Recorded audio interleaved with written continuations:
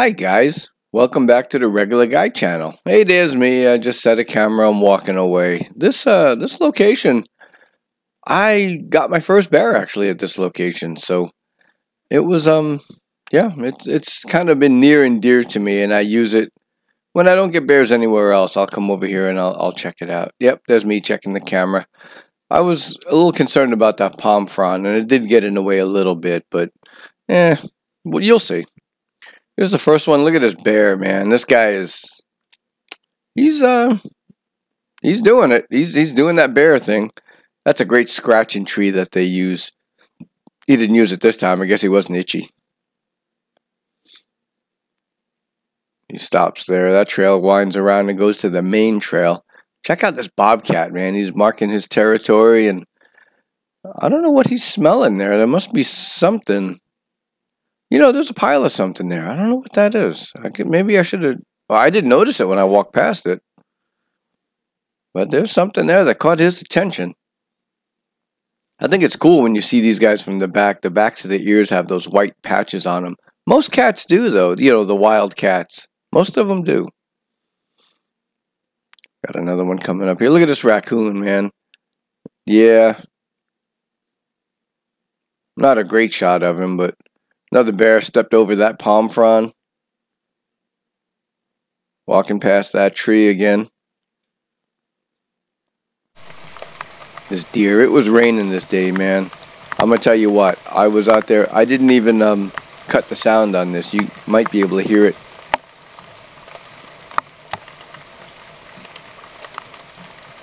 Yeah, I left the sound on for this video. But yeah, this video, I, I got some uh, some lady walking her cat and some people on horseback, but you know, that's yeah, that's not so much interesting as the animals, as bears. and here we are at the captain's log. Check out this bobcat doing bobcat stuff. I was going to zoom him in, but look at all these things floating around. What are these things?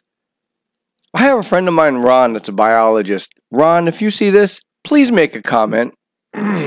or text me and let me know what these things are. I have no idea. They look like bubbles, but I'm sure nobody's out there blowing bubbles at this time of night.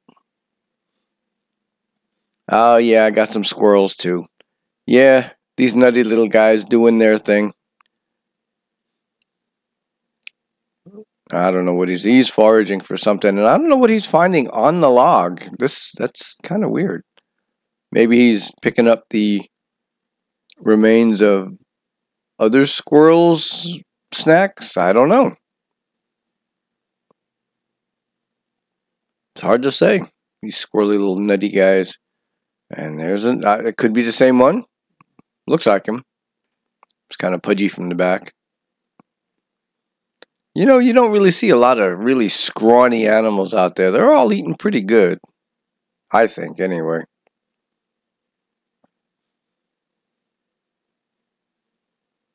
Bobcat.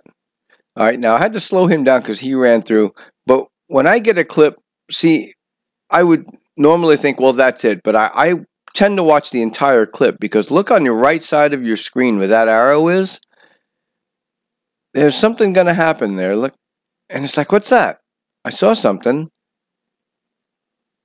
And this is still that same clip from when that bobcat walked by. There's another bobcat walking behind him. Now, I don't know if he's following him. I don't know if they're together, but I don't know. But it's always good to watch the entire clip and don't just think that that first 10 seconds, yeah, this uh this squirrel he jumped down and did something down there and then he kind of jumped back up on the log. I zoomed it in, but you couldn't really see him. But he's doing that squirrel thing. Foraging.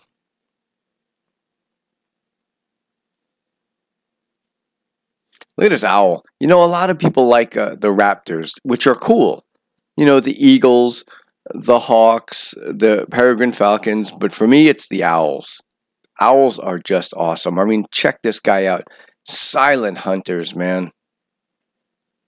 Wings are so, uh, they're kind of shorter than the other ones, but they're broad and they gave him a great gliding ability, you know, within the uh, within the trees.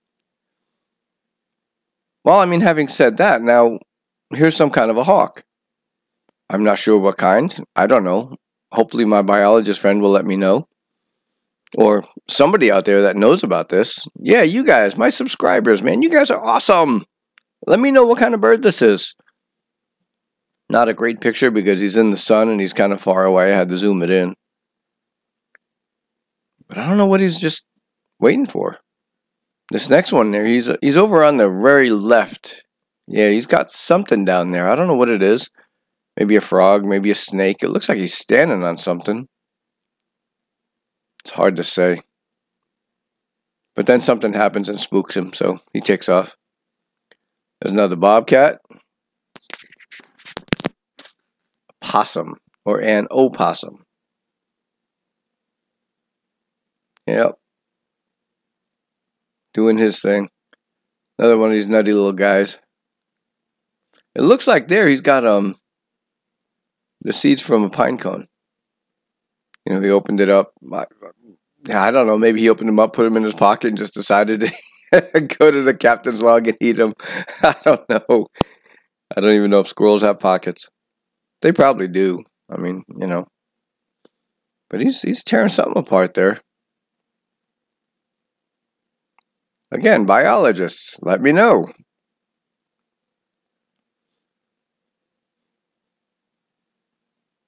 And here he is. He looks like he's about ready to do a backflip off that log.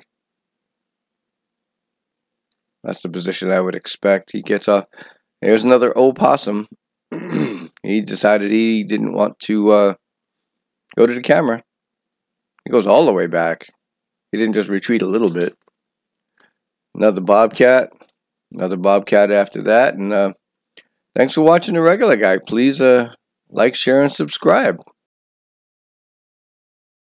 Well, thanks for watching the regular guy. That's really all I got at the captain's log this week. Uh, remember, when you go into our parks, uh, please remember to take only pictures. Don't take nothing else out of there, and leave only footprints. Yeah, you don't want to leave any trash. You got to respect the wildlife in their home, and help to keep it clean because you know it's their place, not ours. This way, our kids will know the excitement of seeing them too. I mean, one day we're going to want to take our kids out and